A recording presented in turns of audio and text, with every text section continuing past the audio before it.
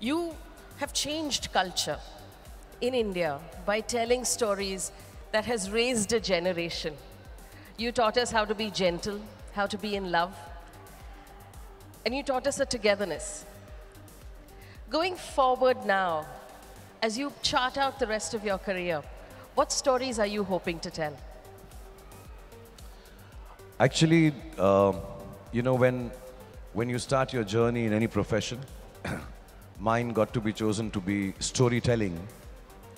You really don't have a plan in your head. I'll be honest and very candid because I'm uh, genuinely thrilled that Faye is speaking with me. And uh, I would not, not try to put on any of the superstar intellect and convolute my answers. I'll keep it very simple that I had no idea what story I want to tell. After 32 years of actively working day in and day out on cinema, I still believe that I should try to go back to that same stage where I was just excited by someone telling me, you have to do this. And I'm like, okay, let's go and do this. There was no specific story I want to tell.